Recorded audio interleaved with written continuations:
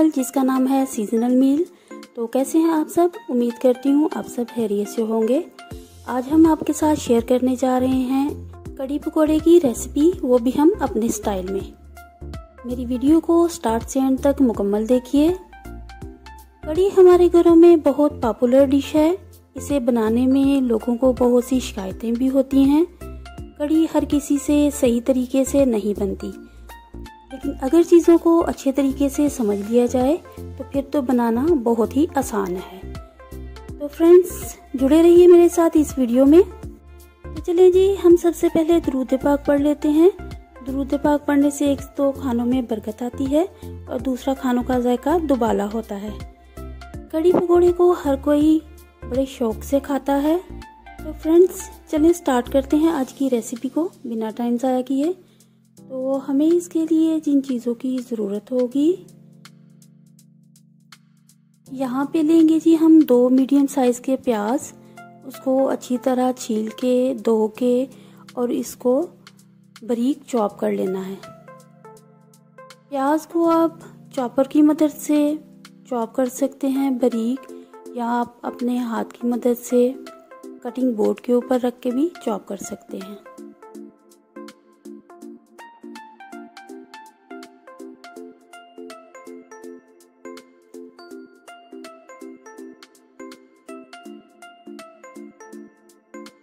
तो यहाँ पे मैंने प्याज को चॉपर की मदद से अच्छी तरह बारीक चॉप कर लिया है।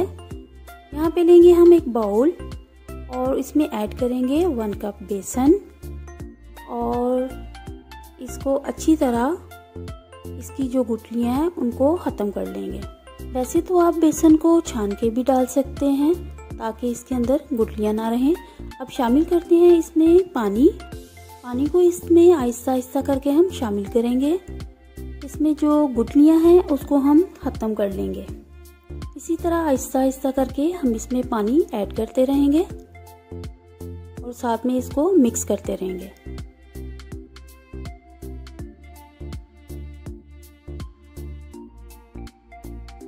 इसके बाद हम बेसन को रेस्ट देंगे ताकि वो अच्छे से खमीर हो जाए।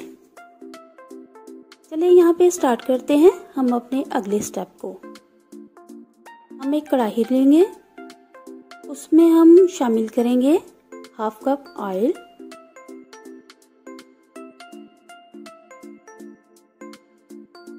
ऑयल जब अच्छी तरह गर्म हो जाएगा तो फिर हम इसमें शामिल करेंगे चॉप किए हुए प्याज।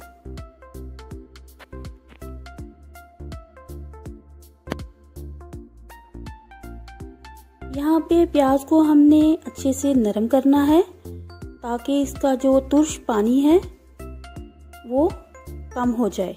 साथ ही हम ऐड करेंगे वन टेबल स्पून ज़ीरा।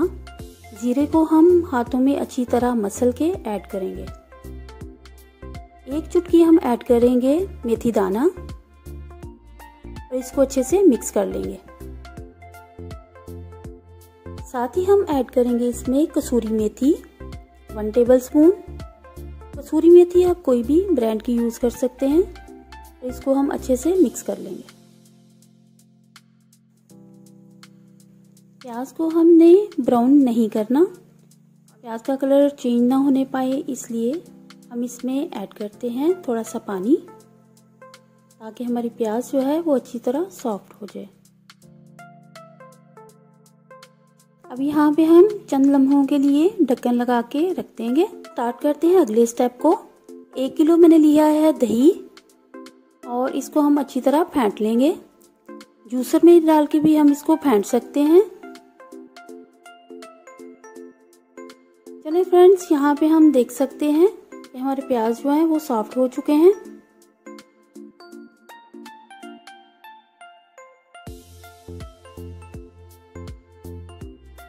अब इसमें ऐड करते हैं जी मसाला जात वन टेबल स्पून लेंगे जी हम लाल मिर्च। वन टेबल स्पून हम ऐड करेंगे नमक का।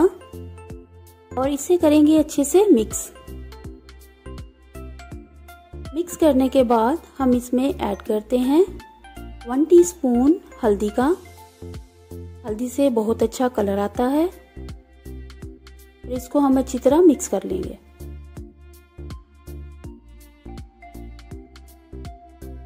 चलें जी, यहाँ पे हम ऐड करते हैं थोड़ा सा पानी। पानी डाल के इसको अच्छे से हम मिक्स कर लेंगे। यहाँ पे अभी से ही बहुत अच्छी खुशबू आना स्टार्ट हो गई है। अब हमने जो बेसन का गोल तैयार किया था, उसको हम ऐड कर लेंगे। और इसको अच्छी तरह से मिक्स कर लेंगे। अब शामिल करते हैं इसमें लस्सी, जो हमने दही की बना के रखी है। वो हम इसमें ऐड कर लेंगे। तो चम्मच को चलाते रहेंगे। साथ ही इसमें ऐड कर देंगे दो ग्लास के करीब पानी और इसको ढक्कन लगा के रख देंगे। चम्मच को हम यहाँ पे थोड़े थोड़े वक्फे के बाद चलाते रहेंगे, ताकि बेसन जो है वो नीचे ना लगे। अब स्टार्ट करते हैं अगले स्टेप को। लेंगे जी हम एक बाउल और इसमें ऐड करते हैं वन कप बेसन। ये हम पकोड़े बनाने के लिए बेसन लिया है। तो इसको अच्छी तरह मिक्स कर लेंगे ताकि इसकी गुठलियाँ खत्म हो जाए।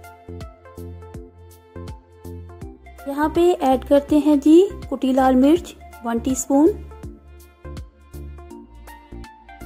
लाल मिर्च का पाउडर, वन टीस्पून।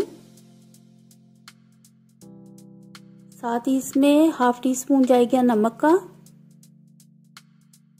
और इसको अच्छे से हम मिक्स कर लेंगे। कड़ी पकोड़ा में जो पकोड़े बनते हैं, उनमें हम ना मीठे सोडे का इस्तेमाल करते हैं, ना हम बेकिंग पाउडर का इस्तेमाल करते हैं। क्योंकि इससे पकोड़ों का कलर चेंज हो जाता है। अब इसमें ऐड करते हैं जी पानी। और इसका हम मिक्सचर तैयार कर लेंगे। थोड़ा थोड़ा पानी डाल के हम ये मिक्सचर तैयार करेंगे। साथ ही हम ऐड करेंगे जी प्याज।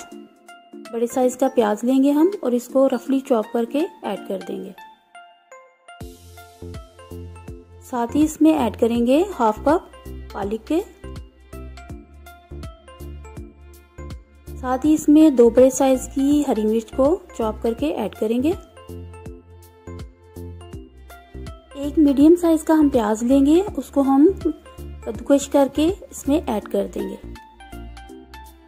और इन सारी चीज़ों को हम अच्छे से मिक्स कर लेंगे और आधा घंटा इसे रेस्ट के लिए रख देंगे ताकि हमारा जो बेसन है वो अच्छी तरह खमीर हो जाए। पैन में हम ऑयल डालेंगे और उसको गर्म कर लेंगे और उसमें वन बाय वन करके हम पकोड़े ऐड करते जाएँगे।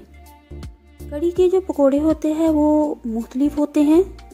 कड़ी के पकोड़ों के लिए सब्ज़ी की मकदार जो है वो ज़्यादा रखी जाती है और बेसन कम इस्तेमाल होता है। और जो आम पकौड़े होते हैं, उसमें सब्ज़ी कम होती है और बेसन ज़्यादा रखा जाता है।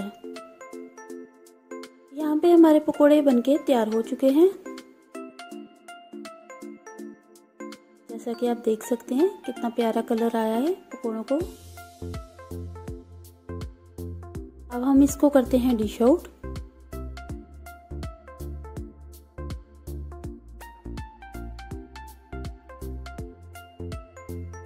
पकौड़े हमारे बनके तैयार हो चुके हैं। अब इसी तरह हम सारे पकौड़े निकाल लेंगे।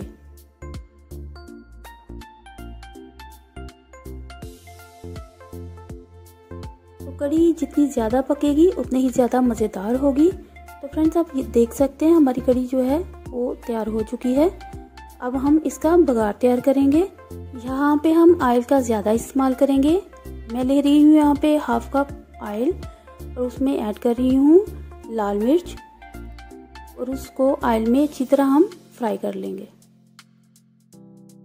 साथ ही इसमें हम शामिल करते हैं हाफ़ टी स्पून के करीब ज़ीरा और उसको भी अच्छी तरह ऑयल में हम फ्राई कर लेंगे।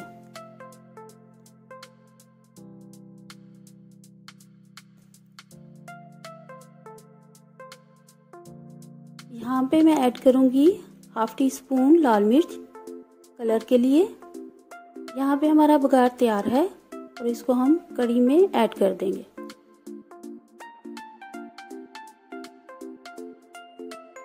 चम्मच को चला लेंगे।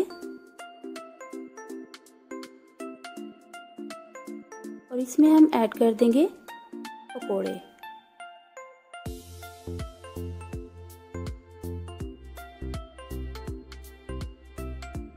पकोड़े ऐड करने के बाद हम इसे पाँच मिनट के लिए ढक के रख देंगे। तो आप देख सकते हैं हमारे कड़ी पकोड़ा जो है वो तैयार है और हम करते हैं इसे डिश आउट। यहाँ पे आपके लिए टिप ये है, बेकिंग सोडे के बारे में मैं आपको बता चुकी हूँ और मैं आपको बेकिंग पाउडर के बारे में बताती चलूँ। अगर हम पकोड़ों में इसका इस्तेमाल करेंगे तो पकोड़ों में वो जान नहीं रहेगी कि ये कड़ी की ताकत को बर्दाश्त कर सके। इससे क्या होगा कि जब हम कड़ी को दोबारा गर्म करेंगे तो हमारे जो पकोड़े हैं, वो खुल जाएँगे। तो फ्रेंड्स, अगर आपको मेरी ये रेसिपी पसंद आई हो तो इसे लाइक कीजिए, शेयर कीजिए, कमेंट्स कीजिए और मेरे चैनल को सब्सक्राइब कीजिए। तो मिलते हैं आने वाली नई वीडियो के साथ। तब तक अपना और अपने प्यारों का बहुत सा ख्याल रखिए और मुझे दुआओं में याद रखिए। अल्लाह हाफिज़। Thank you.